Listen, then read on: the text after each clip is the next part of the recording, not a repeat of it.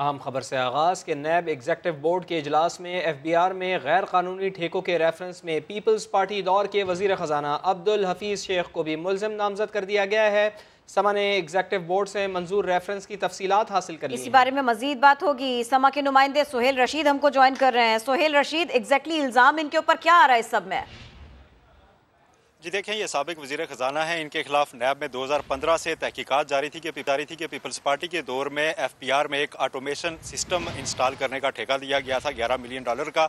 उसमें एक तो लगाया गया था, जो बाकी थे, उनके भी ठेके दिए गए, लेकिन अदायगी उस कंपनी को खिलाफ जबता पेशगी कर दी गई थी, जिसके ख़जाने को नुकसान पहुँचा। और अब्दुल हफीज़ शेख पर इल्ज़ाम यह था कि इन्होंने बतौर वज़ीर इख्तियार का गलत इस्तेमाल किया। इसमें तहकीकत मुकम्मल होने के बाद नैब कराची ने रेफरेंस मंजूरी की, जो है वो इस्तः कर रखी थी, सिफारिश कर रखी थी। उस पर आज एग्जैक्टिव बोर्ड का जो इजलास हुआ और उसमें अलामिया में भी ये बात सामने आई थी कि एफ़ बी आर अफसरान से मुतलिक एक रेफरेंस मंजूर हुआ है। हमारे जराए ने यह तस्दीक किया कि ये वही रेफरेंस है और इसमें अब्दुल हफीज़ शेख को मुलम नामजद किया गया और उसके साथ जो अशर अजीम समेत दीगर मुलजमान भी इसमें नामजद किए गए हैं। अब नैब कराची की जानब से कराची की अदालत में इस रेफरेंस को दायर करने की मंजूरी जो है बाकायदा चेयरमैन नैब की जेर सदारत आज होने वाले इजलास में दे दी गई है। ये ख़जाने को नुकसान पहुँचाने का ही केस था जिसमें जो सबक वज़ीर ख़जाना है अब्दुलफीज शेख, उनको दो साल पहले नैब ने दो तीन बार नोटिस भी जारी किया था और उनसे जवाब भी जवाब तलबी भी की गई थी। अब इस पर जो है बाकायदा मंजूरी दी गई है और इसमें अब जो केस है वो कराची की किसी अदालत में दायर किया जाएगा। इसी तरह आज एग्जेक्टिव बोर्ड इजलास में एक और रेफरेंस की भी मंजूरी दी गई है। मजमू तौर पर दो रेफरेंसेज और छः इन्वेस्टिगेशन जो है मंजूर की गई हैं, लेकिन ये बड़ी खबर इस मीटिंग से सामने आई है कि अब अब्दुल हफीज़ शेख बाकायदा नैब के मुलम बन गए हैं। उनके खिलाफ अब केस बाकायदा दायर कर दिया जाएगा, जो कि पीपल्स पार्टी के बाद पीटीआई के दौर में भी मशीर ख़जाना के तौर पर खिदमत सर अंजाम दे चुके हैं। अब वो नैब के बाकायदा रेडार पर हैं और मुलजम बना दिए गए हैं। आज एग्जेक्टिव बोर्ड इजलास में ये बड़ा फैसला सामने आया है। अब्दुल हफीज़ शेख नैब के रेडार पर, पीपल्स पार्टी दौर के वज़ीर ख़जाना अब्दुल हफीज़ शेख भी मुलजिम नामजद हो गए और हमने नैब एग्जेक्टिव बोर्ड से मंजूर रेफरेंस की तफसीत भी हासिल की हैं। सबक chairman F B R Salman Siddique, Ashar Azeem और अब्दुल्ला यूसुफ भी इसमें शामिल हैं। खिलाफ जबता अदायगी की गई। सॉफ्टवेयर लगाए बगैर ही कंपनी को पैसे दे दिए गए। इख्तियार से तजावज़ किया गया।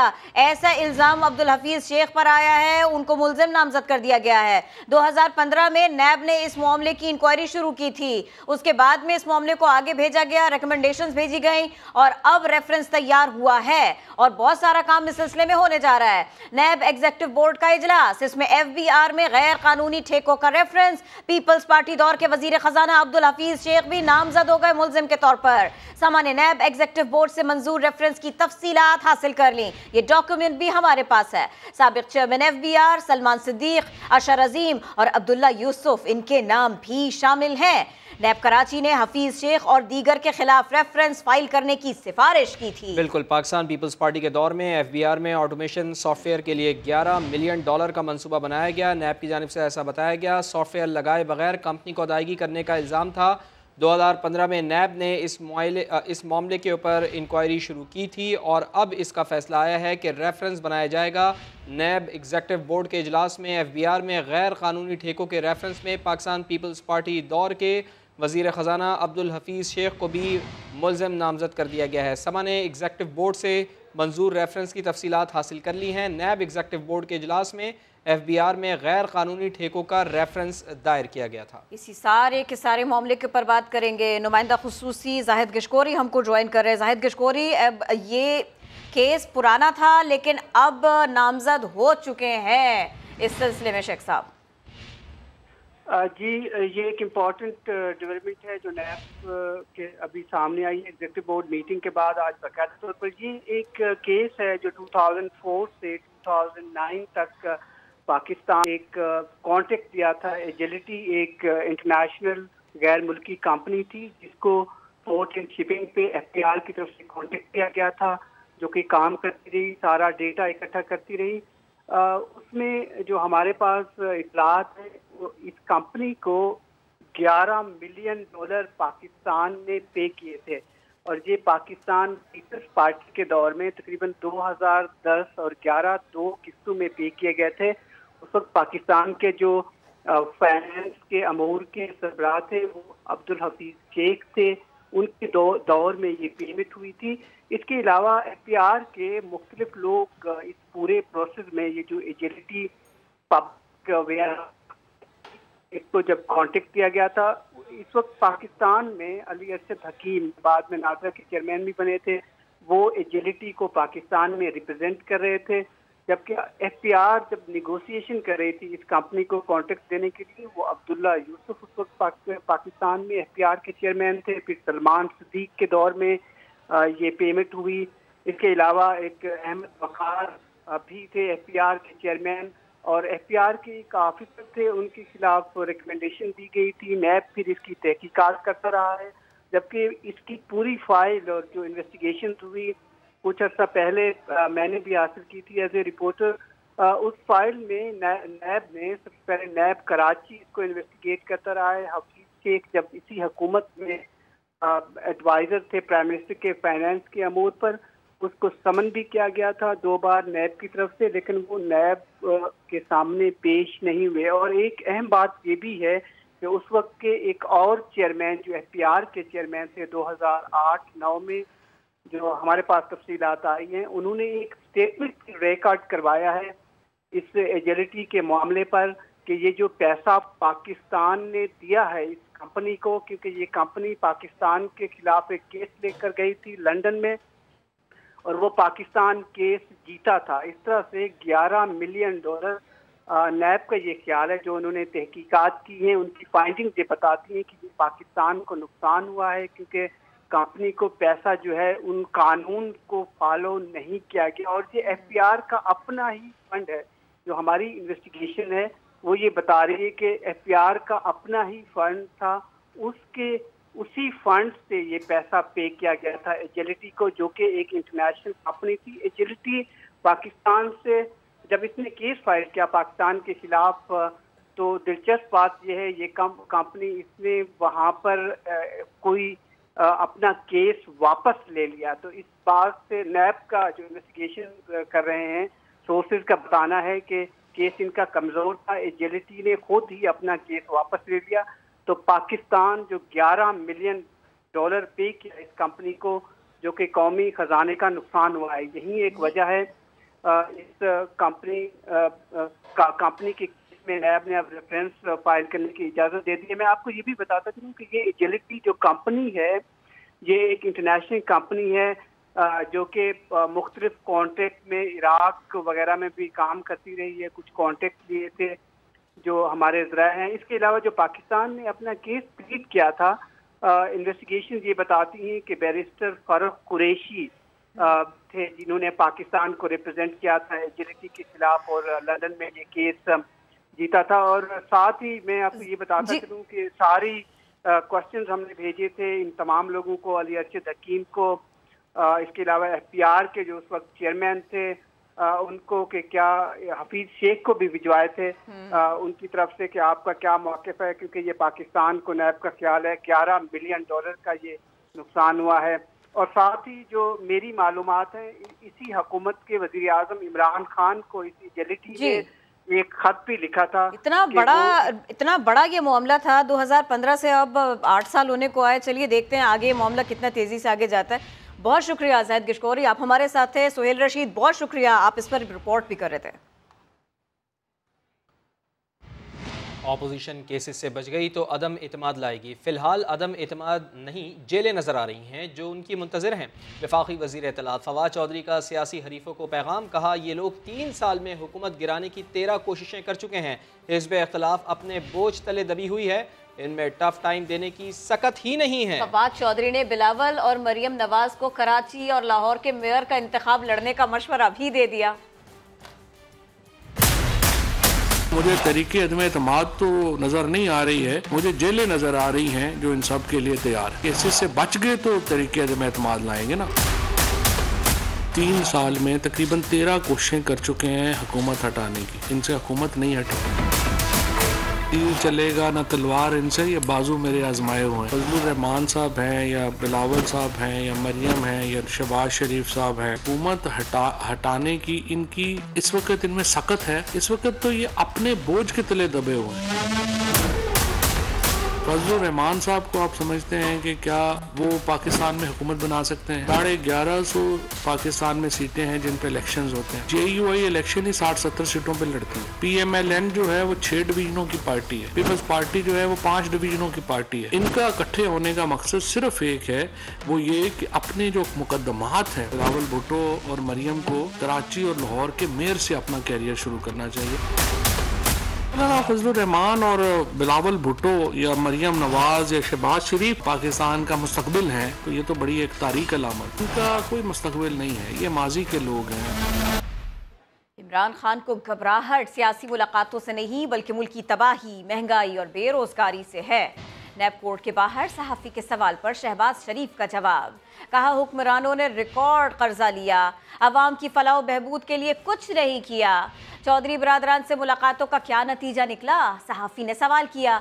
तो शहबाज शरीफ बात सुनी अनसुनी करके चले गए। लाहौर से अरशद अली की रिपोर्ट। लाहौर की नैब अदालत में शहबाज शरीफ समेत दीगर के खिलाफ रमज़ान, शुगर मिल्स और आशियाना रेफरेंसेस पर समात हुई। अदालत ने आशियाना रेफरेंस में एक गवाह का बयान कलम बंद कर लिया। अदालत ने शहबाज शरीफ की लंबी तारीख देने की इस्तदा को मुस्तरद करते हुए कार्रवाई 24 फरवरी तक मुलतवी कर दी। अहाता अदालत में मीडिया से गुफ्तगू करते हुए शहबाज शरीफ ने कहा, गंदुम, शुगर, एलएनजी समेत दीगर स्कैंडल में अरबों खरबों की करप्शन की गई मेरी सियासी मुलाकातों से नहीं है। जो मुल्क की तबाही की है, मस्जिद की तबाही की है, महँगाई, बेरोजगारी पाकिस्तान की तारीख में कभी इतना इजाफा नहीं हुआ जितना अब हुआ है। दूसरी जानब हमजा शहबाज ने जहांगीर तरीन से रबतों से मुतालिक सवाल पर जवाब दिया कि सियासत में रबते सबसे होते हैं एजेंडा एक होना ज़रूरी है। रबते अपना जो है वो सबके साथ है क्योंकि हदफ एक ही है। इमरान न्याजी को घर जाना है इन से अपने काम पे लगे हुए हैं तमाम जमातों के साथ। और इन आवाम की जान इमरान न्याजी से अल्लाह छुड़ाएगा। शहबाज शरीफ और हमजा शहबाज की पेशी के मौका पर पुलिस की भारी नफरी तैनात रही। कैमरामैन खावर महमूद के साथ अरशद अली समा लाहौर। जहांगीर तरीन ग्रुप के अरकान पार्लियामेंट की सियासी बैठक आज लाहौर में होगी। इजलास में मुल्क की सियासी सूरत हाल पर गौर किया जाएगा। मजीद जान लेते हैं इस्लामाबाद में समा नुमाइंदा खसूसी अब्बास शब्बीर हमारे साथ मौजूद हैं। अब्बास बताइए बड़ी अहम मुलाकात हो रही है आज। देखिए ओन चौधरी जो कि सीनियर रहनुमा थे, उनके घर आज तरीन ग्रुप की मुशावरती मुलाकात है। और अरकान पार्लियामेंट की एजाज में इशाइया भी है। तरीन ग्रुप के अरकान कौमी असम्बली और अरकान पंजाब असम्बली को भी मदू किया गया है। मशावरत जो मशावरती मीटिंग है, उसमें मुल्की सियासी सूरत हाल का जायजा लिया जाएगा। सियासी मंजरनामे के हवाले से अपने सियासी किरदार का भी जायजा लिया जाएगा कि आइंदा आने वाले दिनों में कहाँ पर झुकाव होना चाहिए। तरीन ग्रुप अपोजिशन की हुकूमत मुखालिफ सरगर्मियों का भी आज के इस इजलास में जायजा लेगा। लेकिन जो जहांगीर तरीन के कुछ जराए हैं, उन्होंने इस चीज़ को एक्सेप्ट किया है कि आज की जो मीटिंग है, वो एक अहम मीटिंग है और उसमें ये फैसला किया जाएगा कि आगे झुकाव कहाँ पर होना चाहिए। जी, बहुत शुक्रिया आपका। शहबाज शरीफ की वापसी की गारंटी देने वाले शहबाज शरीफ के खिलाफ अदालती कार्रवाई से पहले हुकूमत ने मियाँ साहिब के डॉक्टर से रबते का फैसला कर लिया। डॉक्टर शाल और डॉक्टर लॉरेंस को खत लिखकर मेडिकल रिपोर्ट्स मंगवाई जाएँगी। नवाज़ शरीफ की मेडिकल रिपोर्ट्स तलब करने के साथ साथ सेहत से मुतक मालूम भी हासिल की जाएगी। अगर बीमारियाँ ऐसी न निकली जो सफ़र में रुकावट हो तो शहबाज शरीफ के खिलाफ कार्रवाई के लिए अदालत से रुजू किया जाएगा। अटारनी जनरल को मेडिकल रिपोर्ट्स फराहम करने के खत पर शबाज शरीफ के साफ़ जवाब के बाद हुकूमत का नवाज़ शरीफ के डॉक्टरों से खुद रिपोर्ट्स मंगवाने का फैसला। अटारनी जनरल ऑफ़िस अब डॉक्टर शाल और डॉक्टर लानस को खत लिखेगा। नवाज़ शरीफ की मेडिकल रिपोर्ट्स तैयार करने वाले मुआलजीन को अलग अलग खतूत अरसाल किए जाएँगे। मियाँ साहब की मेडिकल रिपोर्ट्स तलब करने के साथ सेहत से मुतालिक तमाम मालूम ली जाएँगी। अगर बीमारियाँ ऐसी न निकली जो सफ़र में रुकावट हों तो शबाज शरीफ के खिलाफ कार्रवाई के लिए अदालत से रजू किया जाएगा। नवंबर 2019 में शबाज शरीफ ने लाहौर हाई कोर्ट में बयान हल्फी दिया था कि नवाज़ शरीफ फिट होते ही वापस आ जाएँगे। उनकी गारंटी पर अदालत ने बैरून मुल्क जाने की इजाज़त सात अरब रुपए के ज़रिए जमानत से मशरूत करने की विफाकी हुकूमत की शर्त खत्म की थी। बयान हल्फी पर अमल न करने की वजह से विफाकी हुकूमत ने शहबाज शरीफ के खिलाफ अदालती कार्रवाई का फैसला कर रखा है। इससे पहले कानूनी तकाजे पूरे करने के लिए ही डॉक्टर से रबता किया जाएगा। हाई कोर्ट के फैसले में कहा गया था की हुकूमत खुद भी नवाज़ शरीफ की सेहत के मुतालिक मालूम हासिल कर करेगी। सुहेल रशीद, सामा, इस्लामाबाद। वज़ीर सेहत पंजाब डॉक्टर यासमीन राशिद कहती हैं कि नवाज़ शरीफ से मिलने गई तो उन्होंने इलाज पर तसल्ली का इजहार किया था। वज़ीर अजम ने नवाज़ शरीफ को बाहर से मॉलेज बुलाने की पेशकश भी की थी। अब वो बिल्कुल सेहतमंद हैं। मॉलेज ने लिखा है कि जेल में अकेला रखा तो दिल टूट जाएगा। अगर अकेले रहना मुमकिन नहीं है तो पूरा ख़ानदान ही जेल में डाल देते हैं।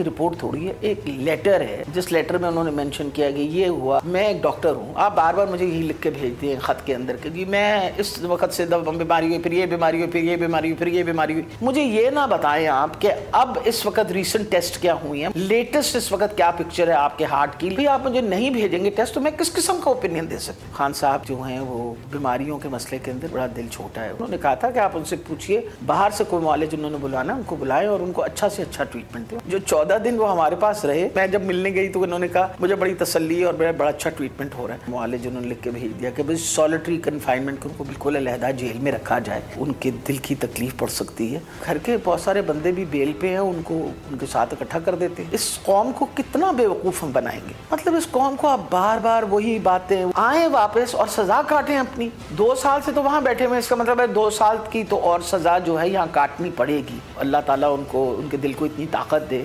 कि वो वापस आएँ और अपनी सज़ा काटें और मुकम्मल करें। और ये बात मानी भी गई। जहाँ तक नवाज़ शरीफ के इलाज का ताल्लुक है, इससे बिल्कुल मुतमिन थे। लीग रहनुमा जावेद लतीफ़ ने समा से गुफ्तगु की। कहा, नैब हिरासत में जो कुछ हुआ, उससे तहफात थे। मियाँ साहिब, हुकूमत के मेडिकल बोर्ड की सिफारिश पर यहाँ से आ गए। आज हुकूमत किस मुँह से ऐसी बातें कर रही है? यकीनन जो इलाज हो रहा था और जितनी कैपेसिटी थी वो तो बिल्कुल ठीक था उससे हम मुतमिन थे। मगर नैब की कस्टडी में जो किया गया आ, उनको उससे हम ना सिर्फ़ मुतमिन थे बल्कि हम परेशान भी थे खौफजदा थे कि कहीं कोई जुल्म ज्यादती जो माजी में होती रही है कोई ऐसा हमारे साथ ना हो जाए। इन्हीं की जो तजवीज़ थी इनके मेडिकल रिपोर्ट बोर्ड की तो उसके बाद ही गए हैं वो। और आज किस मुँह से कह रहे हैं कि वो मेडिकल रिपोर्ट जो थी वो गलत सीनियर रहनुमा सैयद खुर्शीद शाह का समा को खसूसी इंटरव्यू जियाल रहनुमा ने मौजूदा सियासी सूरत हाल पर खुलकर बात की। कहा वज़ीर आज़म ने अपनी बेवकूफ़ियों से अवाम ही नहीं रियासत को भी मुश्किल में डाल दिया। पीपल्स पार्टी चाहती है पीटीआई हुकूमत इमरान खान के बगैर आईनी मुद्दत पूरी करे। पाकिस्तान पीपल्स पार्टी के सीनियर रहनुमा सैयद खुर्शीद अहमद शाह हमारे साथ मौजूद हैं। शाह साहब, सियासी मंजरनामा आप किस तरीके से देख रहे हैं? क्या होने जा रहे हैं? देखें अनसर्टेनिटी है। कोई चीज़ अपनी जगह पे नहीं है। और प्राइम मिनिस्टर इस वक्त जो कुछ कर रहा है, वो मुल्क और रियासत के हक में नहीं है। और न ही इनको पॉलिटिकल जहन है इमरान को, कि वो सियासी तौर पे दुनिया के हालात को देखते हुए आगे बढ़े। शाह जी कितना ख़तरा लगता है जब इतिहादी एक हकूमत के अपोजिशन से मुलाकातें शुरू कर देते हैं। ये क्या सिग्नल होता है? इतिहादी हो या अपोजिशन हो उनके साथ डायलाग होना चाहिए। आपको इस वक्त इसलिए ये अजीब लग रहा है कि पहले दिन से ये डायलाग का तस्वर इस हुकूमत के अंदर नहीं रहा है। क्या ये मुलाकातें हुकूमत गिराने के लिए हो रही हैं? सियासत में ना आखिरी दुश्मन होता है ना आखिरी दोस्त होता है। मुलाकातें होती रहती है कभी नाराज़गी होती है कभी दोस्ती होती है। हालात पे मुनसर करता है। अब हालात ऐसे हैं कि हम सबको मिल के सबको मिल के जो भी पाकिस्तान से प्यार करता है, रियासत से प्यार करता है, मिल बैठ के सोचना चाहिए कि पाकिस्तान को कैसे सेव किया जाए। पीपल्स पार्टी ने पहले दिन से ये कहा था कि हम कॉन्स्टिट्यूशन के अंदर रहते हुए अपने इकदाम उठाएँगे और हम नहीं चाहते कि इसको अपने टाइम से पहले हम जाने दें। अब भी हमारी यही कोशिश है कि पीटीआई की गवर्नमेंट जो है वो अपना टेन्यूर पूरा करे। मगर इमरान के लीडरशिप में नहीं क्योंकि उसने अपनी बेवकूफ़ियाना हरकतों की वजह से जो प्रॉब्लम स्टेट के लिए रियासत के लिए पैदा की है मैं समझता हूँ कि आज तक ऐसा पहले कभी नहीं हुआ। अदम अतमाद अगर आता है तो नंबर गेम पूरी है सारी अगर अपोजिशन इकट्ठी हो जाती है तो देखिए क्या इस वक्त बात एक बात तो है कि नंबर गेम पहली बात तो मेरी है कि नंबर गेम पूरी होगी इन और अगर नहीं भी है तो हम अपना फरीज़ा तो अदा कर दें। कल ये तो न कहा जाए कि इमरान खान खुश नसीब है और उसको ऐसी अपनी अपोजिशन मिली है। कहते हैं तो कि अपोजिशन नाकाम है अपोजिशन कमज़ोर है। ये तासुर क्या है? ये यही तासुर की वजह से हमें बाहर आना पड़ा है कि ये जो हमने सियासत को सामने रखते हुए एक हुकूमत को मौका दिया पाकिस्तान के लिए पाकिस्तान की रियासत के लिए कि ये काम करे। वज़ीर दिफा परवेज़ खटक कहते हैं कि महँगाई की बातें करने वाले सुन लें, ये अमरीका और यूरोप समेत पूरी दुनिया का मसला है। सिर्फ़ पाकिस्तान का नहीं, महँगाई का जवाब बनाकर इमरान खान को नाअहल कहने वाले बताएँ, क्या अमरीकी सदर और यूरोपीय लीडर्स भी नाअहल हैं? मुल्क में एक हवा उठाई हुई है कि तहरीक इंसाफ नालायक है, नाअहल है। तो मैं सिर्फ़ ये कहता हूँ, इस वक्त इंटरनेशनली सारी दुनिया में महँगाई है। सारी दुनिया में हमारे से दो तीन गुना ज़्यादा महँगाई है। अगर इमरान खान को कोई नाअहल कहता है तो क्या अमेरिका का सदर नाअहल है? क्या यूरोप, यूरोपियन कंट्रीज़ के जितने वज़ीर वज़ीर अजम है, क्या वो नाअहल है? मैं तो अपोजिशन के सब लीडर से कई दफ़ा बहस भी हुई कि भाई मुझे बताओ कौन सी गलती है, आप वो रास्ता बता दो, हम उस पर चल पड़ेंगे। हम अपने प्राइम मिनिस्टर को समझा देंगे कि ये महँगाई इस तरह रुक सकती है। इमरान खान की और तहरीक इंसाफ की पूरी कोशिश है कि इस मुल्क को इन चोरों से निजात दिलाए। ऐसा सिस्टम आ जाए जो फूल प्रूफ हो और हर एक को रास्ता मिले। तो मैं, और अभी भी ये सुन रहा हूँ कि अतमाद करें, बड़ी खुशी से करें। पता चल जाएगा इनको कि मैदान में क्या। पाकिस्तान तहरीक इंसाफ के रहनुमा फैसल वावटा ने ताहयात ना अहली का फैसला। इस्लामाबाद हाई कोर्ट में चैलेंज कर दिया। मौकफ इख्तियार किया कि इलेक्शन कमीशन तो नाअहली की दरख्वास्त पर समात करने का मजाज ही नहीं था। फैसला कलदम करार दिया जाए। दरख्वास्त में कहा गया है कि इलेक्शन कमीशन ने झूठे हलफनामे की बुनियाद पर नाअहल करार दिया। इलेक्शन कमीशन को बार बार बताया कि वो कोर्ट ऑफ़ लॉ नहीं है। इसलिए उसे नाअहली की दरख्वास्त सुनने का इख्तियार नहीं। ये भी बारहा बताया कि जानबूझकर कोई बयान हलफी नहीं दिया। और अच्छी खबर यह है कि कोरोना का ज़ोर टूटने लगा है। छः शहरों के अलावा मुल्क भर में पाबंदियाँ नरम कर दी गई हैं। इस्लामाबाद, रावलपिंडी और लाहौर में शादी की इंडोर तकरीबा भी हो सकेंगी और डाइनिंग भी। कराची, हैदराबाद, मुजफ्फराबाद और गिलगित में पाबंदियाँ अलबत् बरकरार रहेंगी। इस्लामाबाद से देखिए अरहम खान की रिपोर्ट। वबा के बादल छटने लगे पाबंदियाँ हटने लगी। कोरोना की 10 फ़ीसद ऐसी कम शराब वाले तमाम शहरों में इंडोर डाइनिंग के साथ साथ शादी ब्याह की इंडोर तकरीबात की भी इजाज़त मिल गई, लेकिन ज़्यादा ऐसी ज़्यादा 300 वैक्सीन शुदा अफराद की हद मुकर कर दी गई कराची हैदराबाद गिलगित मुजफ्फराबाद मरदान और पिशावर में इंडोर शादियों तमाम तकरीबात और इंडोर डाइनिंग आरोप पाबंदी बरकरार रहेगी। कारोबारी सरगर्मियों के लिए पूरे मुल्क में वक्त की पाबंदी खत्म कर दी गई दस फ़ीसद ऐसी कम शराह रखने वाले तमाम शहरों में तालीमी इदारे भी मुकम्मल गुंजाइश के साथ खुल सकेंगे। ताहम ज़्यादा शराब वाले शहरों में बारह साल ऐसी कम उम्र तलबा के लिए पचास फ़ीसद हाजिरी रखी गई है। बारह साल ऐसी ज़्यादा उम्र के तमाम तलबा की वैक्सीनेशन लाजमी होगी। पब्लिक ट्रांसपोर्ट सत्तर फ़ीसद, रेलवे अस्सी फ़ीसद मुसाफरों के साथ चल सकेगी, लेकिन सिर्फ़ वैक्सीन शुदा शहरियों को ही सफ़र की इजाज़त होगी। तमाम निजी और सरकारी दफातर सौ फ़ीसद मुलाजमीन के साथ काम कर सकेंगे। डोमेस्टिक एयर ट्रैवल में खाना फराहम करने आरोप पाबंदी बरकरार रहेगी। दस फ़ीसद ऐसी कम शराब वाले शहरों में सिनेमा मजारात पार्क और जिम्स मुकम्मल गुंजाइश के साथ, जबकि ज़्यादा शराब वाले शहरों में पचास फ़ीसद गुंजाइश के साथ खुले रहेंगे। नए एस ओ पी का इतलाक सोलह ऐसी इक्कीस फरवरी तक होगा। स्मार्ट लॉकडाउन की पॉलिसी बरकरार रहेगी। अरहम खान, समा। इस्लामाबाद। विफाकी वज़ीर इतलात फवाद चौधरी कहते हैं सिंध के वज़ीर अला ने बढ़क मारी थी कि सबसे ज़्यादा वैक्सीन मंगवाई गई लेकिन सिंध हुकूमत ने एक डॉलर की वैक्सीन भी नहीं मंगवाई। तकरीबन हम ढाई बिलियन डॉलर से ज़्यादा की जो वैक्सीन है वो पाकिस्तान में लोगों को लगाई जा चुकी है और ये बिल्कुल मुफ़्त है। मैं आपको यहाँ भी याद करा दूँ कि आपको याद होगा कि सबसे पहले सिंध के चीफ मिनिस्टर साहब ने ये बढ़क मारी थी कि हम वैक्सीन जो है वो मंगवाएँगे और लगाएँगे। लेकिन अब तक जो रिकॉर्ड आज पेश किया है इकनॉमिक अफेयर्स डिवीज़न ने सिंध हुकूमत ने एक डॉलर की भी वैक्सीन जो है वो नहीं मंगवाई और सारी वैक्सीन जो है वो वफाकी हुकूमत से ही जो है वो सिंध में गई है। इसके बावजूद कराची में जो वैक्सीन का लगने की जो शरह है, वो मुतासर कन नहीं है बाकी शहरों के मुकाबले में। और इसी वजह से कराची में ज़्यादा मामला भी होता है। हुकूमत ने पेट्रोल बम गिराने का इशारा दे दिया। वज़ीर इतलात फवाद चौधरी कहते हैं कि पेट्रोल की कीमत बढ़ाने के सिवा कोई चारा नहीं है। यूक्रेन और रूस तनाज़े की वजह से आदमी मार्केट में दाम बढ़ रहे हैं। हुकूमत कब तक बोझ बर्दाश्त करेगी, ऐसा भी उन्होंने कहा। हालात हैं, उसमें ज़ाहिर है कि इसके अलावा क्या चारा होगा कि आप पेट्रोल की कीमत जो है वो बढ़ाएँगे। यूक्रेन के और जो इस वक्त यूरोप में और जो टेंशन बनी हुई है अमेरिका में, उसकी वजह से जो इंटरनेशनल प्राइस है आपकी तेल की, वो शूट अप हो गई है। अब उसमें हम कितनी देर जो है वो रोक सकते हैं? हमारे यहाँ तो बिलियंस ऑफ़ रुपीज़ हमारे पास तो है नहीं जो कि आप, हम जो है रोज़ाना इसमें दे सकें। तो ज़ाहिर है, कीमतें बढ़ेंगी, इसमें कुछ शुबा नहीं। आलमी मंडी में खाम तेल की कीमत आठ साल की बुलंद तरीन सतह पचानवे डॉलर फ़ी बैरल पर पहुँच गई है। पाकिस्तान में भी पेट्रोलियम मसनूआत महँगी होने का खदशा पैदा हुआ है। यकम जनवरी से अब तक खाम तेल पंद्रह डॉलर फ़ी बैरल महँगा हो चुका है। आलमी कीमतों का असर पाकिस्तान में भी पड़ेगा। मुल्क में पेट्रोलियम मसनूआत की कीमतों में इजाफे का ऐलान आज होने का इम्कान है। वफाकी काबीना के अजलास की अंदरूनी कहानी सामने आई। वज़ीर आबी वसाइल मुन सिलाही ने कालाबाग डैम मनसूबा काबीना के सामने रख दिया। इसी बारे में मजीद बात होगी। समा के नुमाइंदा खसूसी अब्बास शब्बीर हमारे साथ हैं। अब्बास शब्बीर, क्या रद्द अमल सामने आया? दीगर अरकान का, दीगर क्या मामला थे जिन पर बात हुई? देखें, वफाकी वज़ीर मोना सिलाई ने कालाबाग डैम मंसूबे का मामला आज कैबिनेट के सामने रखा, जिस पर उन्होंने ये भी कहा कि वज़ीर साहब कालाबाग डैम के मामले पर काबीना कमेटी तश्कील दे दें। लेकिन वफाकी वज़ीर वो जो और वजरा थे, उन्होंने मोना सिलाई की तजवीज़ की, ये मुखालफत की। और ये कहा कि सिंध में इंतबात होने जा रहे हैं। इस मामले पर पहले ही मुखालफत है। बड़े सॉफ्ट अंदाज में प्राइम मिनिस्टर ऑफ़ पाकिस्तान ने मोनस सिलाई को कहा कि मोनस कालाबाग डैम पर कमेटी बनाने का अभी मुनासिब वक्त नहीं है।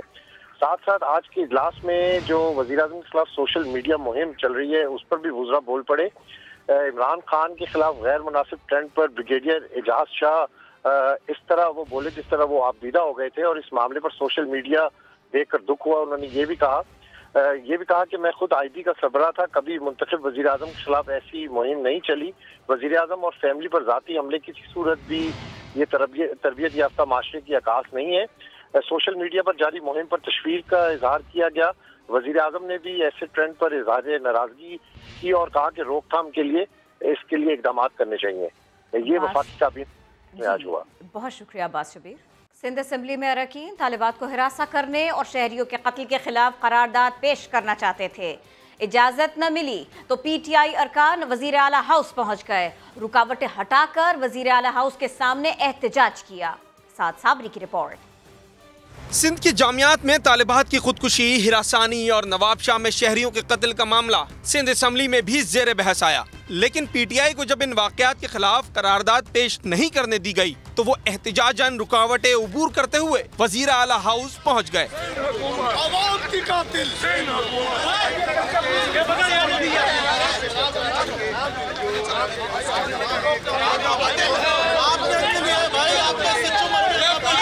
और मरकजी दरवाजे के सामने मुजाहिरा किया। Opposition leader Sindh assembly Haleem Adil Sheikh ने सिंध में होने वाले वाकयात का जिम्मेदार सूबाई हुकूमत को करार दिया। हमने करारदाद पेश की थी, जिस पे नासिर शाह साहब ने भी साइन किए थे। हम चाह रहे थे उस पर डिस्कशन हो, उनके खिलाफ कार्रवाई हो। इन्होंने स्पीकर को डिक्टेट करके नहीं होने दी। ये खौफ का आलम साबित कर रहा है कि इन बच्चियों की इज्जतों के नीलामी के छींटे इनके कपड़ों पर है इनकी गर्दन पर है। तहरीक इंसाफ के अरकान असम्बली ने मुख्तसर एहतजाज के अख्ताम पर वज़ीर अला हाउस के दरवाजे पर खुला खत भी लगा दिया जिसमें जिम्मेदारों के खिलाफ कार्रवाई का मुतालबा किया गया। कैमरामैन शाहिद बलोच के साथ सात साबरी समा कराची। विज़िट कीजिए हमारी वेबसाइट समा डॉट टी वी इसके अलावा आप हमें फेसबुक और ट्विटर पर भी ज्वाइन कर सकते हैं। एक ब्रेक के बाद हेडलाइंस के साथ दोबारा हाजिर होंगे देखते रहिए समा।